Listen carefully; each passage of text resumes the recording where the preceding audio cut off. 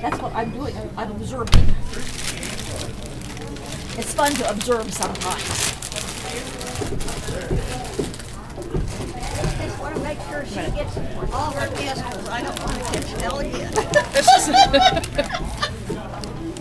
What's your fault? It's a She's not here. conspiracy, Mary. We, we want you to catch Elliot. It's not her fault she doesn't Mary, feel they well. think it's better you than them.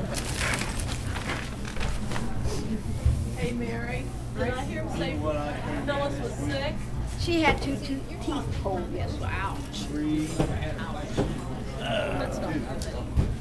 Not doing very well. She's on drugs. And no alcohol. That's, that's a bad